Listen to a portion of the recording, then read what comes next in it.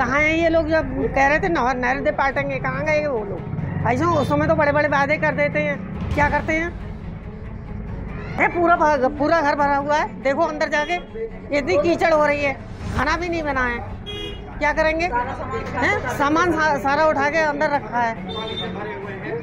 मैं आपको बता दूँ, ये हल्द्वानी का पॉस एरिया है। यहाँ पर कुमाऊं कमिश्नर हल्द्वानी यहीं रहते हैं। सिटी मजिस्ट्रेट महोदय यहीं पर रहती है। एसडीएम साहब यहीं रहते हैं। नगर निगम यहीं पे और जो कैनाल जिसकी वजह से बारिश बारिश का पानी लोगों के घरों में घुसा हुआ है नहर का, उसका भी मेन ऑफ़िस चीफ ऑफ़िस भी यहीं पर है। सारा पॉस एरिया यहीं पे डीआईजी साहब यहीं पर खुद ही रहते हैं। लेकिन जिस हिसाब से इनकी लापरवाही की वजह से, ठेकेदार की लापरवाही की वजह से, इसके लिए मैं ब्लेम करूँगा ठेकेदार को जिसने नहर सफ़ाई के नाम पे लाखों रुपया खा दिया है। और सफ़ाई कुछ भी नहीं हुई नहर की, जिसका परिणाम आप लोगों के सामने, ये देखिए लोगों के घरों में पानी घुसा हुआ है। ये आपको ये लालकुआ का नगीना शहर नहीं है, ये दमादुंगा का बिंदु, दमोडंगा नहीं है, कोई बिंदु खत्ता नहीं है।